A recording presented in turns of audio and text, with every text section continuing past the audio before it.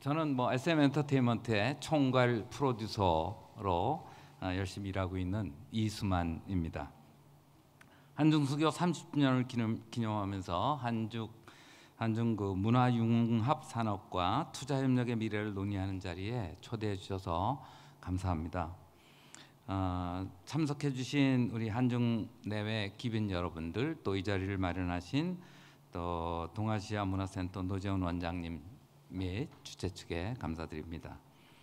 올해는 한중 수교 30년이라는 것을 오늘 굉장히 많이 얘기하게 되네요. 어, 상당히 어, 오랫동안 기다렸던 자리이기도 하지만은 또 30주년인데 저는 그 SM을 설립한 지 33주년이 되기도 합니다. 그러니까 저희가 설립하고서 3년 후에 1992년에 수교를 맡게 됐죠. 그러니까 저희는 89년에 SM 기획이라는 걸 설립하게 됐었습니다. 제가 SM 엔터테인먼트 89년에 했으니까 저희는 30년이 넘었고요. 저는 그러니까 당연히 저도 30살은 넘었습니다. 네.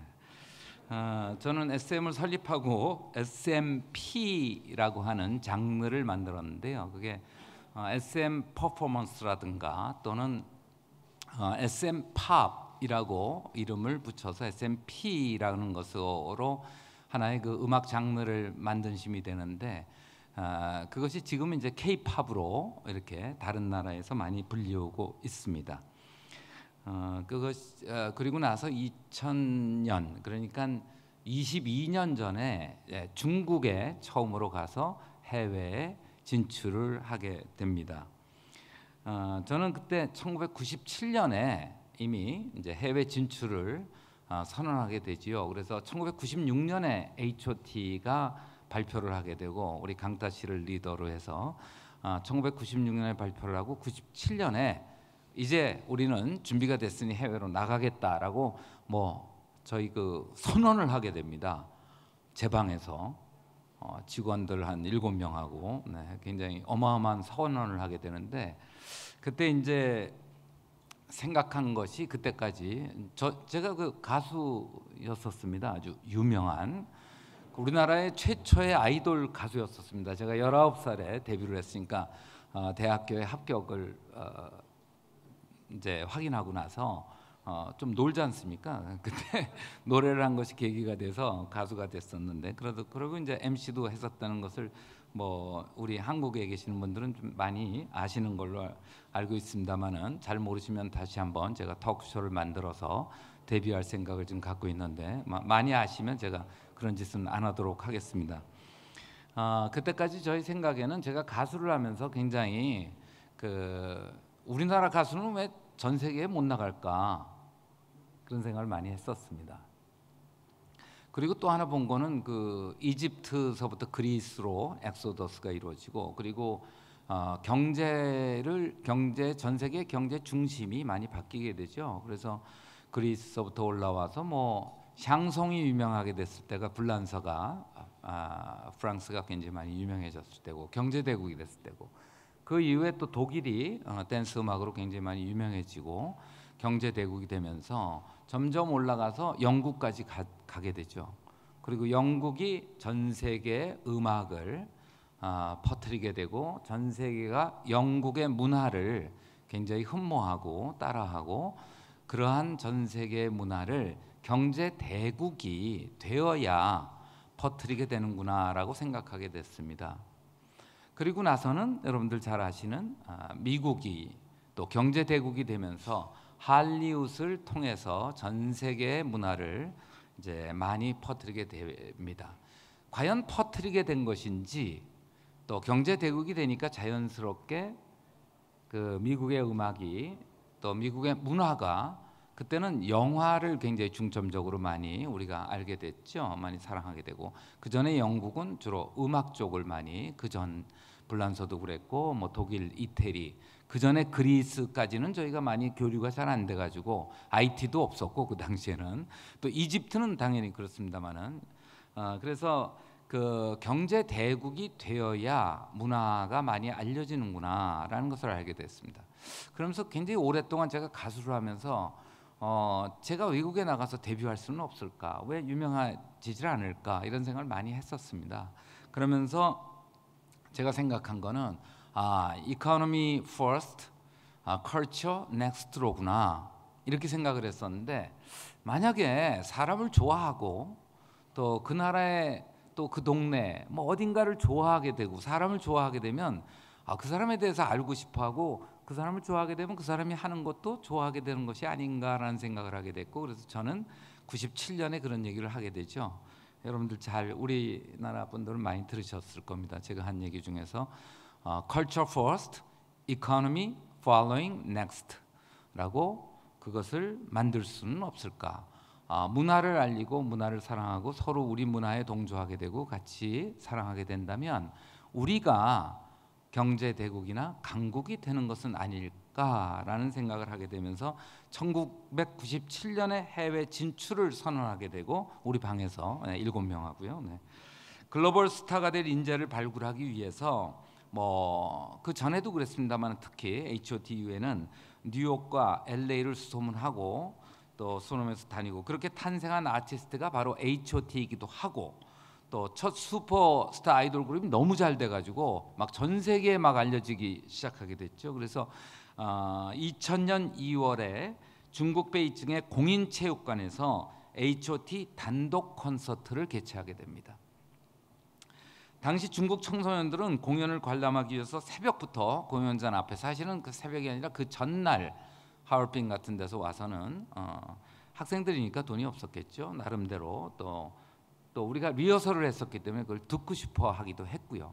밖에서 그래서 우리가 들어오게 하도록 굉장히 노력도 하고 그러한 추억이 지금도 생생합니다마는 공인체육관 12,000석을 가득 채운 팬들의 열광을 접한 그 중국의 언론들은 이 순간을 한류라 칭하면서 대대적으로 보도를 했습니다. 새로운 세기가 시작된 2000년이기도 했지만 H.O.T의 중국 공연이 한류의 기폭제가 되고 또 한류라는 개념이 상용화하게 되기 시작했습니다.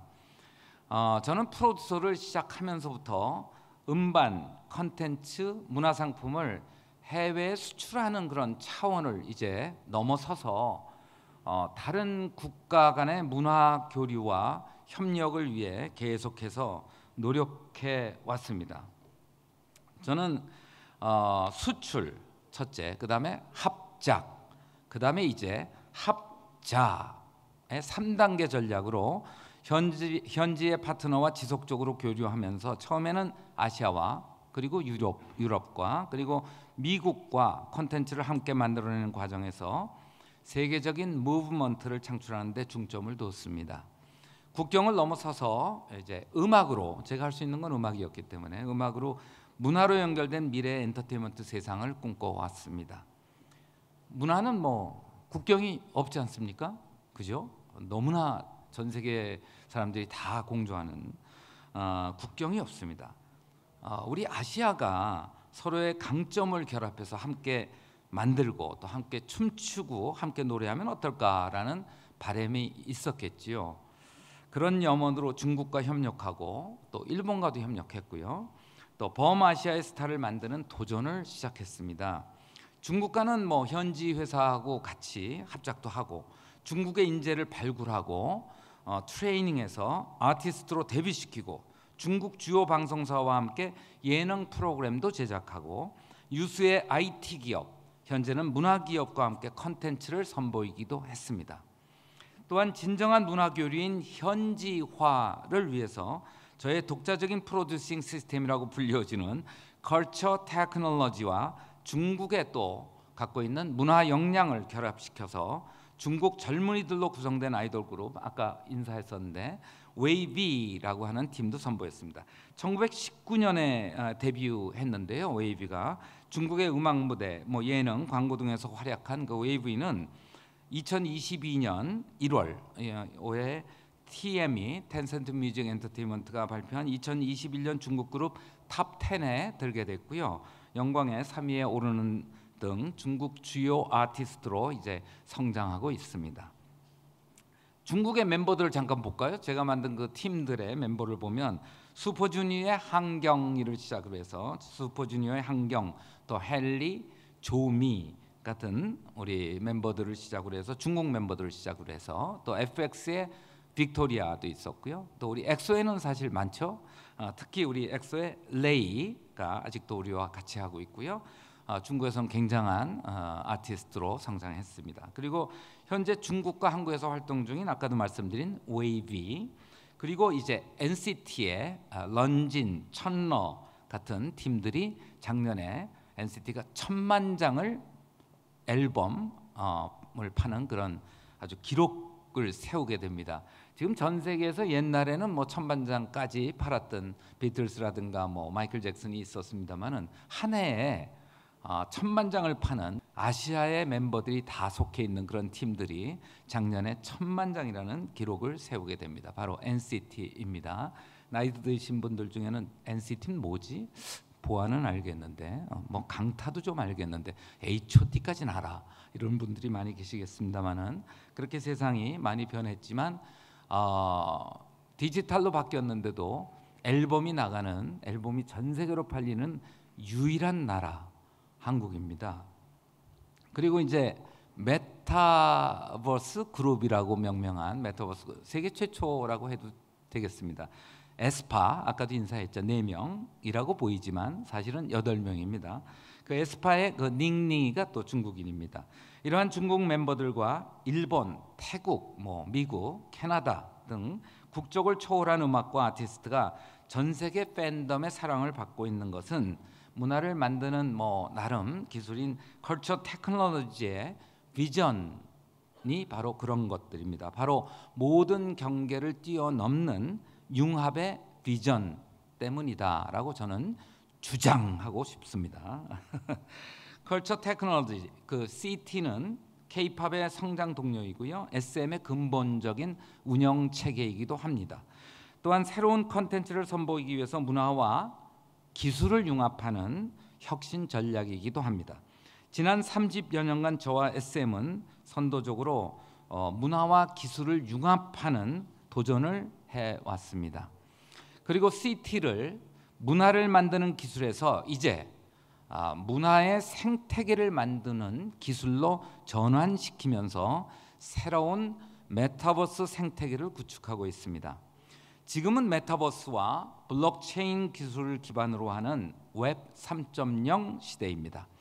메타버스 세상은 음악처럼 국경을 초월합니다. 경계가 없습니다. SM의 모든 아티스트의 세계관은 SM의 메타버스인 Culture Universe SMCU로 융합되고 있습니다. 메타버스 세상에서 저와 SM이 만드는 오리지널 컨텐츠인 우리가 부르는 킬러 컨텐츠라고 불리우는 그 컨텐츠는 전 세계 K-팝 팬덤과 프로수머의 re-creation을 통해서 새로운 IP와 컨텐츠가 만들어지고 있습니다. 그리고 그 가치는 점점 극대화될 것입니다. 믿어지십니까? 네, 지금 그렇게 될 것입니다. 네. 저는 이미 시작된 메타버스 세상에 대한 비전이 있습니다. 저의 궁극적인 비전은 메타버스를 통해서 신이 인간에게 부여한 인간 고유의 그리고 최상위 본성이 있습니다. 그것은 창조라고 하는 것이라고 저는 생각합니다. 그 바로 창조에 기여하는 것, 누구나 창조의 즐거움을 누리는 세상이어야 될 것이고 그러한 세상을 만드는 것이 메타버스의 세상이라고 저는 생각하고 있습니다. 제가 할 일이다. 저는 그렇게 생각하고 있습니다. 누구나 창조를 즐기는 메타버스 엔터테인먼트 세상을 만들기 위해서 어, play to create라는 말을 여러분들은 play to earn이라고 하는 말, 말은 이제 많이 들으셨죠. 아, 그것은 제가 볼 때는 아, 이제 메타버스 세상에 있어서의 어, 농경 시대의 시작이다라고 생각, 생각합니다. 우리는 농경 시대의 시작을 맞이하면서 인류가 문화에 접하게 되고 문화를 만드는 그러한 세상에 접하게 되었다라고 생각한다면 play to earn은 이제 겨우 농경 시대의 시작을 한 것입니다. 그러나 어, exponentially 진짜 기하급수적으로 발전하기 때문에 play to create라고 하는 인간이 마지막으로 하고 싶어하는 그 창조라는 것을 만들어낼 수 있도록 우리는 해야 된다. 그래서 play to create라는 생태계를 구축하고 있습니다. SM을 넘어서서 뜻을 함께하는 IP 기업들과 또 글로벌 컨텐츠 플랫폼 기업들과 협력을 논의 음, 논의하고 있고요. 음악을 넘어서서 전체 문화 창조 산업으로 폭넓은 alliance를 맺고자 합니다. 아, 메타버스 생태계에서는요, 어, 뭐 많은 그 음, 석학들이 말씀하시고 또 리더들이 얘기하고 있지만 저는 저대로의 또 개념을 갖고 있습니다. 메타버스 생태계라는 것, 어, 현실의 공간을 미러링해서 그 메타버스의 어, 세상, 즉 virtual 메타버스에는 그 현실의 세계를 미러링하는 virtual 메타버스가 굉장히 중요하죠. 그거는 여러분들도 많이 들으셨을 테고요. 서로 다른 나라와 또 도시와 문화를 교류하면서 상상을 뛰어넘는 새로운 공간, 이벤트, 제품, 컨텐츠가 바로 그 시뮬레이션 하듯이 현실에서 만들어진 버추얼의 현실과 똑같은 그 현실이 있는 그런 virtual 메타버스인 미러링된 현실에 이제 virtual적인 것들이 그 안에 만들어지는 것입니다. 새로운 공간도 또 만들어지고 이벤트도 또 만들어지고 이런 호텔도 새롭게 리마들링하고 저 앞에 어, 시청 앞에 공간도 새롭게 만들어지면서 새롭게 만들어지는 것이 마치 시뮬레이션 하듯이 어, 새롭게 창조될 것입니다. 버추얼 메타버스에서 이제 여기까지가 우리가 굉장히 많이 지금 해야 되고 어, 우리나라도 시작을 해야 되고 우리나라의 전체를 메타버스화 해야 되는 그런 작업을 우리 국가가 해야 될 것입니다. 또 우리 아시아가 해야 될 것이고요. 그런데 그 거기에서 머무르는 것이 아니고 바로 시뮬레이션 하듯이 버추얼 그 메타버스의 세상에 그 창조물들이 만들어지면 이제 그것을 다시 미러링해서 현실 세계의 새로운 창조물을 구축해 나가는 것이 우리의 미래여야 될 것입니다. 저는 그런 현실, 현실 세상, 아, virtual 메타버스에서 만들어진 그러한 창조물들이 이제 현실에서도 보여지는 그러한 메타버스를 physical 메타버스라고 부르고 있습니다. 아, 아무도 그런 얘기를 안 했기 때문에 제가 얘기하는 것은 거짓말이다 이러지 마시고 아, 새로운 첫 번째 단어를 새롭게 얘기하는 것이로구나 뭐 한번 들어주지 이렇게 좋게 생각해 주시면 감사하겠습니다. 그래서 그 virtual 메타버스가 있는가 하면 mirroring된 것을 다시 mirroring을 해서 현실 세계 만들어내는 physical 메타버스의 세상이 중요해질 것이라고 생각합니다. 뭐 간단히 얘기하면 그냥 어린 왕자의 그, 그 planet 있죠? 하루 종일 어, 해를 따라가면서 볼 수 있는 planet 이런 것들을 언제 만들어질까라고 생각하시겠지만 만들어질 것입니다. 또 우리가 다른 universe로 통하는 웜홀 같은 것이 있느냐 없느냐 있다라고 우리 굉장히 뛰어난 과학자분들 말씀하시죠.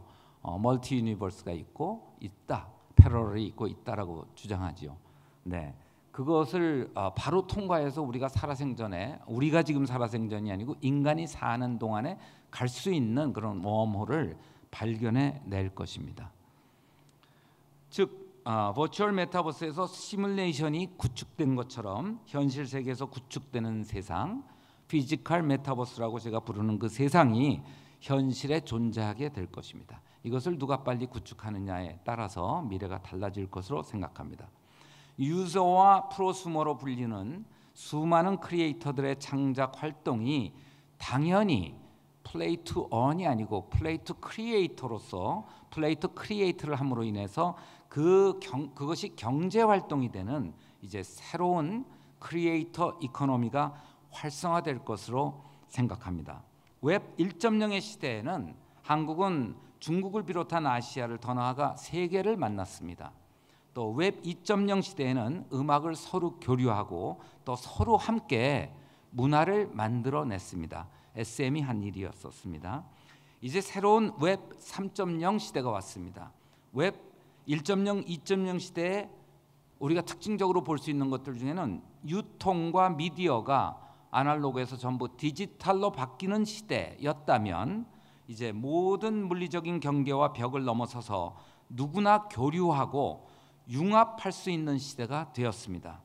전 세계가 가상 세계에서 하나의 커뮤니티로서 또 하나의 도시처럼 하나의 마을처럼 하나의 나라처럼 하나의 마음으로 연결될 수 있는 메타버스는 새로운 웹 3.0의 공동체 커뮤니티이기도 합니다. virtual 메타버스와 physical 메타버스가 공존하고 또 다른 가능성을 창출할 수 있는 시대에 접어들었습니다. 기하급수적인 경제적 가치를 그 안에서 가지게 될 것입니다. 이미 중국도 메타버스의 가능성을 내다보면서 산업을 육성하고 또 기업들의 메타버스 산업 진출이 활발한 것으로 알고 있습니다. 메타버스 산업은 경계를 뛰어넘는 새로운 세상을 열며 국가 간의 문화 교류를 촉진시키는 새로운 장이 될 것입니다. 대한민국은 메타버스의 first mover로서 이 미래를 아시아와 아시아와 함께 만들기를 바랍니다. 우리는 에스파를 통해서 미래의 문을 열었습니다. 저는 2020년 프로듀싱한 최초의 메타버스 그룹 에스파를 통해서 경계를 초월한 미래 엔터테인먼트 세상의 비전을 구체화하여 지금 보여드리고 있습니다.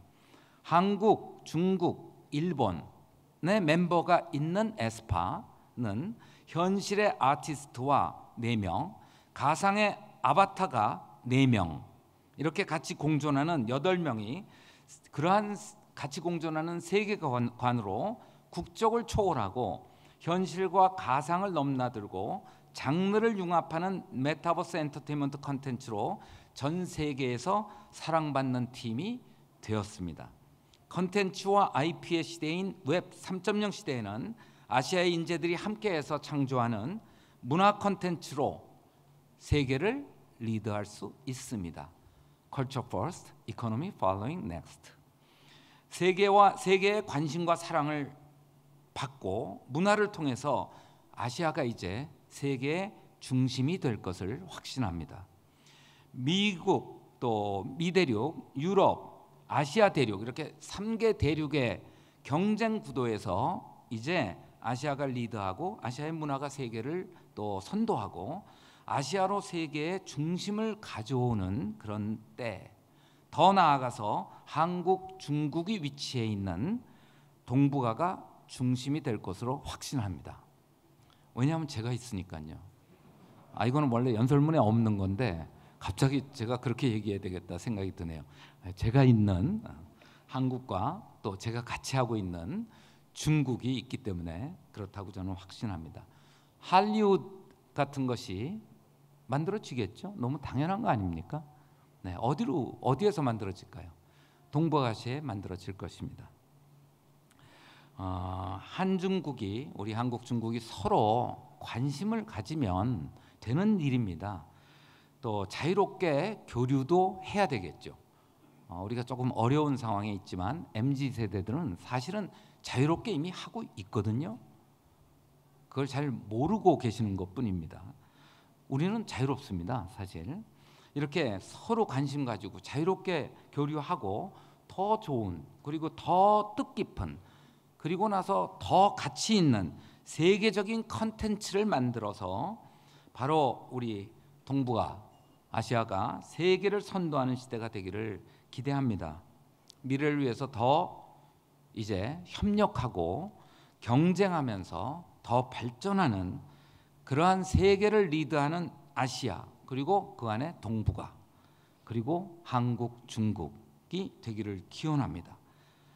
그 아시아의 일원 그 동북아의 동북아의 일원인 한국 중국은 정말 중요한 나라입니다. 그리고 우리의 관계는 중요합니다. 그러한 한중 관계가 됐으면 하는 바램입니다. 지금은 그 어느 때보다도 우리가 이제 협력을 할 때입니다. 협력을 하면서 구축하고 세계 최고가 되고 그리고 또 경쟁도 그 안에서 해야 되는 그러한 선의의 경쟁 시대입니다. 우리 모두가 함께 같은 꿈을 꾸면 이 자리에서 그것은 새로운 미래의 시작이 될 것입니다. 아, 메타버스와 아, 오늘 그 융합의 비전 미래를 상징하는 팀을 만들었다고 말씀드렸는데 에스파 이제 제 얘기는 끝났고요. 어, 재밌는 비디오를 두 편을 보시게 되겠습니다. 오늘 30주년 아, 기념하는 우리가 한국과 중군이 잘해서 전 세계에 관심을 가져오자라는 말씀을 드리고 있는데 비디오 두 편을 준비했습니다. 어, 한 편은 그 중국을 대표하는 댄스 가수가 있습니다. 류이신이라고 하는 여자 가수입니다. 어, 그 류이신과 함께 많은 얘기를 했고요. 또 아시아를 대표하는 댄스 가수는 보아라고 지금 많이들 알고 계실 걸로 있습니다. 물론 요즘에 새로운 팀들도 많이 있지만 우리가 그래도 대표적으로 얘기하려면 아시아의 대표 댄스 가수는 보아이고 또 현재 중국의 댄스 가수를 대표하는 아, 가수는 여자 가수 여자 가수는 류위신이라고 하는 가수입니다. 이 둘을 같이 해서 같이 컬래버를 해서 한번 발표를 하면 어떨까라고 뭐 두 사람은 너무 너무 좋아하고요. 또 많은 팬들도 기다리고 있습니다. 근데 어, 우리가 뭐 3일 됐나요? 발표했습니다. 근데 지금 현재 그 주걸륜이 또 같이 발표를 해가지고 주걸륜이 1, 2등을 하고 있고요. 어, 3위를 지금 하는 그런 쾌거를 어제 오늘 이렇게 3위를 계속 하고 있네요. 보아 중국 가수 류위신 그리고 그 노래 제목은 Better라는 곡입니다. better 더 나은 미래를 위한 better 또 하나는 아까 말씀드린 에스파의 곡인데요. 그 아바타 멤버하고 네 명하고 어, 실존해 있는 네 명의 그 인간들이 같이 만드는 여덟 명의 에스파는 7월 8일에 아, Girls라고 하는 앨범을 launching했습니다. 첫 주 앨범 판매량이 여자 가수로서는 최대의 밀리언셀러를 기록했습니다. 역사상. 그리고 역대 걸그룹 1위의 판매량과 함께 빌보드 메인 앨범 차트 빌보드 200에서 3위에 올랐네요. 네, 그게 어저께 그저께인가 뭐 알려줘서 알게 됐습니다. 자랑스러워서 오늘 말씀드리는 겁니다. 또 미국의 앨범 판매량으로는 1위에 올랐습니다. 요즘은 앨범 안 사죠. 근데 이 K-팝 음악은 앨범을 산다는 것이 특징입니다. 어떻게 그렇게 됐을까 알고 싶은 분들은 남아서 두 시간만 시간 주시면 제가 설명해 드리도록 하겠습니다. 그러한 기록을 낸 이렇게 두 가지를 보시면 여기 계시는 그 한중의 문화 교류를 원하시고 또 우리 아시아가 잘 되고 특히 한국 중국이 대표가 되는 그런 나라가 되기를 원하시는 분들이 조금 재미있으면서도 이것이 현실이구나 또 이것이 MZ 세대가 나아가는 길이로구나 하는 것을 느끼실 수 있을 것 같습니다. 저는 여기서 마무리하도록 하겠습니다. 감사합니다.